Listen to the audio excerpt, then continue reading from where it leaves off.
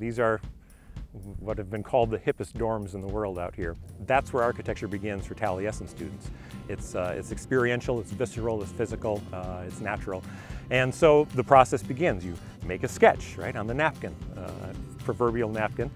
Then you design it, you develop it. Uh, we expect the students to uh, engineer it, make a materials list, create a budget.